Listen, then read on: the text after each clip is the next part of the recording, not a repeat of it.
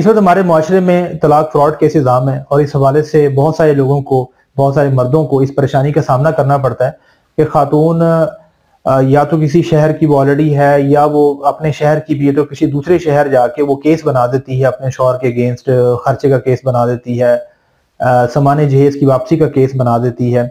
और शोहर को जनाब पता ही नहीं होता, उसको नोटिस ही नहीं सर्व किया जाता, अदालत की तरफ़ से आता ही नहीं है उसे कोई नोटिस और क्योंकि पहली तो बात यह है कि औरत को यह हक हासिल है कि वो पाकिस्तान के किसी भी शहर में जाके जो है वो केस दायर कर दे, अपने शोहर के खिलाफ केस उसी जो है वो अदालत में चलेगा, उसी शहर की अदालत में। अदालत नहीं पूछेगी औरत से कि भाई वो उसका शनाख्ती कार्ड पर जो एड्रेस लिखा है, क्या वो वाकई इस शहर की रिहायशी है भी या नहीं है?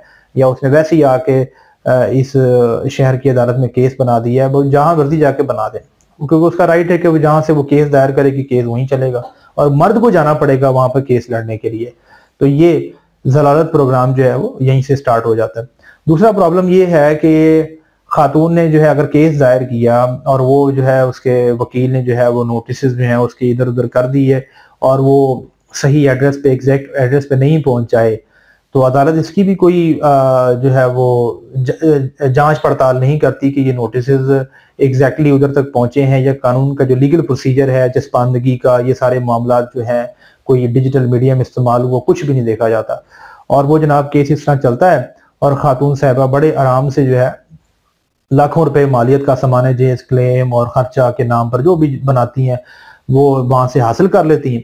और फिर जनाब वो जब इजरा का मामला लगता है तो मर्द को तब पता चलता है कि अब तो जनाब ये कि जब वो उसके खिलाफ फैसला हो चुका था वो उसे रिकवरी लेनी होती है, उसके अंदर से निकालना होता है माल। तो वो उसके इल्म में आता है। तो ऐसी सूरत हाल में जो है वो ये होता है कि वो लाखों रुपए का क्लेम जो है वो मर्द के अगेंस्ट हो जाता है। तो कुछ मर्द हजरात जो है वो ये समझते हैं कि यार वो केस का जो है वो ट्रायल चलाना और फिर उधर जा जाके दूसरे शहर जो है पेशियाँ भुगताना, जलील होना और इस पार्टी को इस जो है वो ऑर्डर को सेटिसाइड करवा के या इस डिग्री को सेटिसाइड करवा के, फ़ायदा क्या होना है? चलो ठीक है, जो डिग्री करवा ली, उसने जैसे ही करवा ली चंद लाख रुपए इजाफी अगर देने पड़े, ठीक है, मैं ये चंद लाख रुपए भी कर लूँगा। वो उसी डिग्री की एग्जीक्यूशन में पेश हो जाते हैं और जनाब, वो अदायगी और सामान वापसी के अमल को प्रोसीड करवाने के लिए एग्री कर लेते हैं।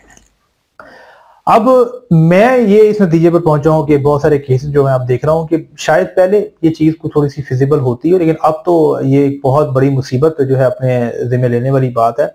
मिसाल के तौर पर होता क्या है कि अगर हस्बैंड ने जाकर जो है एग्जीक्यूशन ज्वाइन कर ली और वो बस एग्री कर गया बस ठीक है मैंने जो भी है जो भी फैसला इसने करवा ली एक तरफा ही फैसला हुआ बस मैं देने के लिए की रजामंद हूँ तो वो जैसे ही जनाब वो एग्री करता है या पेमेंट दे देता है पेमेंट क्लियर कर देता है उसके चंद माह बाद भी ऐसा होता है या कभी जल्दी भी हो जाता है कि खातून देखती है कि इसने ये पैसे जमा करवा दिए हैं तो फिर खातून एक दरख्वास्त दे देती है कोर्ट को कि जनाब जो आ, आपने ऑर्डर फरमाया है उस ऑर्डर फरमाने में जो है फलानी रसीद रह गई थी जिसके ऊपर ऑर्डर नहीं हुआ आ, उसका क्लेम जो है वो नहीं डला या फलाना गोल्ड रह गया था या कोई भी ऐसी चीज़ रह गई थी कोई ना कोई क्लैरिकल मिस्टेक बना के या फलाना कागज़ रह गया था फेरस का आ, उसके ऊपर अमल दरामद नहीं हुआ आ, उस, उसका जो है वो डिग्री नहीं किया गया।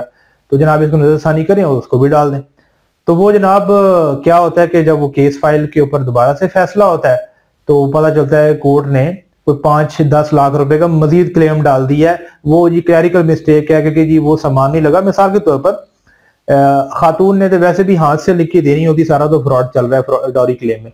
मतलब इस तरह एक कागज़ की शीट है। उसके ऊपर खातून ने जो है वो लिखा कि ये ये ये सामान की फहरस्त है, ये सामान इतने अदद, ये बर्तन इतने अदद, ये कपड़े इतने अदद, ये जूते इतने अदद, ये ज्वेलरी इतने अदद, वगैरह वगैरह। अब ये सफ़ा लिख दिया। फिर इस तरह उसने इसी तरह का एक और सफ़ा भी लिख दिया। इस तरह एक और भी लिख दिया, दो तीन सफ़े हो गए। मिसाल के तौर पर सफ़ात पे मबनी हो गया ये सारा सामान। अब जब ऑर्डर पास हुआ तो उस ऑर्डर को पास करते हुए जब जज ने सिर्फ़ एक सफ़े का सामान कंसीडर किया अपने ऑर्डर में, और उसने उसकी बुनियाद के ऊपर ऑर्डर कर दिया कि भाई इसमें ठीक है, ये ये सामान इसमें है, और इस लिहाज से जो है वो ये ये सामान जो है वो वापसी करना बनता है तो वो जनाब शोहर वापस करे। अब जब शोहर वापस कर देता है तो चलो यार, जो भी है, मैं दो, तीन, चार लाख की ओपी काट लूँगा, मैं पैसे अदा कर देता हूँ। तो पता लगता है जनाब, इस तरह के दो सफे तो और भी लगे हुए थे फ़ाइल में, जो कंसिडर ही नहीं हुए। तो वो जब फ़ाइल खुलती है तो पता लगता है वो जनाब दस लाख का सामान तो और था, जिसके ऊपर ऑर्डर ही नहीं हुआ। तो वो जनाब फटाफट स्टेट क्योंकि एक्सेप्टेंस तो जा चुकी है कि मैं अदा करने के लिए तैयार हूँ। तो बस वो एक्सेप्टेंस जैसे ही गई तो वो बाकी जो दो सफात का सामान है उस पर दोबारा से फैसला थोड़ी होने लगा है। वो तो दोबारा उसमें शामिल होकर जनाब, वो लग गया सामान उसके ऊपर। या उसमें कोई ज्वेलरी का बिल था, या कोई भी हिसाब किताब था ये मैंने एक समझाने की एक मिसाल दी है। तो इस तरीके से फिर मर्द के पास पीछे हटने का चारा नहीं होता, और फिर जो है, वो उस तरीके से बहुत बुरे तरीके से फंसता है। फंसा तो पहले ही होता है लेकिन मजीद फंस जाता है।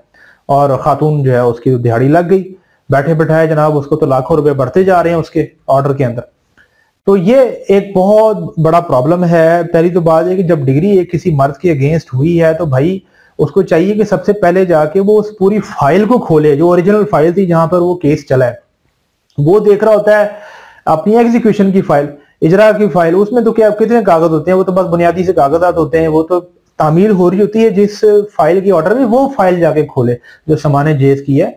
तो उसको यकीनन जो है, अपने उस केस के अंदर कोई ना कोई फ्रॉड नज़र आएगा कोई कागजात आगे पीछे नज़र आएँगे, या कोई भी प्रॉब्लम हो सकता है। अगर कोई प्रॉब्लम नज़र नहीं भी आ रहा, फिर भी रिकमेंडेड है कि वो जनाब, बजाय ये कि जब उसके इलम में आ गया कि वो एग्जीक्यूशन लग गई, मेरे सर पर चढ़ दौड़े हैं तो वो अब उसको सेट साइड करवाने के लिए, उस डिग्री को सेट साइड करवाए लाजमी तौर पर। उस डिग्री को प्रोसीड ना करवाए उसकी इजरा में ना जाए, कुछ भी हो सकता है कल को, और उसकी बुनियाद पर वो बहुत बुरी तरीके से फंस सकता है। और वैसे तो सब यही कहते हैं, वकील साहिबान भी यही कहते हैं, भाई, कोई बात नहीं, कोई बात नहीं, पैसे दें और नहीं दोबारा केस नहीं होगा। भाई, केस तो भाई मर्द के ऊपर ही बनना है ना। तो वकील साहबान ने तो ज़िम्मेदारी नहीं लेनी है, जब उसके ऊपर लाखों रुपए का सामान मजीद देगा तो बेहतरी इसी के अंदर है कि उस डिग्री को सेटिसाइड करवाया जाए, जिसमें वो शोहर की मौजूदगी नहीं थी, शोहर के इल्म में नहीं था, और दोबारा से उसका जो है, वो ट्रायल चलवाया जाए। ये एक तलख तजुर्बा तो है, बहुत ज़्यादा तलख होगा, पूरा ट्रायल चलाना पड़ेगा, लेकिन ये इतना खतरनाक जो है वो बहुत ज़्यादा हो सकता है अगर वो बिल्कुल अपना जो है एक जो है वो मुतफिक हो जाए उस डिग्री के साथ और अपनी कंसेंट दे दे कि वो पैसे जमा करवाने के लिए तैयार है। इसका मतलब है कि वो तो फिर अग्री कर गया कि उस सामान जेज केस की फ़ाइल के अंदर जो जो सामान क्लेम किया गया था वो तो सबसे एग्री कर गया, तभी तो उसने जाके पैसे जमा करवाए। उसको उस ऑर्डर पे एतराज़ ही कोई नहीं है। उसको उसने ना कोई लिस्ट पे एतराज़ उठाया, ना किसी चीज़ पे उठाया। तो ये बिल्कुल एक खतरनाक काम है। और मैं समझता हूँ कि इसे अवॉइड करना चाहिए। ये बिल्कुल एक ब्लाइंड गेम है और बहुत बुरे तरीके से फंसेंगे जो हजरात भी ये करते हैं और मैं अपनी आँखों से ऐसे लोगों को फंसे हुए देख भी रहा हूँ। तो ज़रूरत है कि बिल्कुल ठंडे दिमाग से सोचा जाए इस मामले के ऊपर और जल्दबाजी में क्विकली जान छुड़ाने की कोशिश ना की जाए, क्योंकि इससे इंसान जो है मजीद फंस जाता है।